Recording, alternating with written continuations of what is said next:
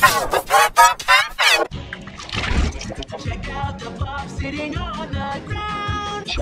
Wait, wait,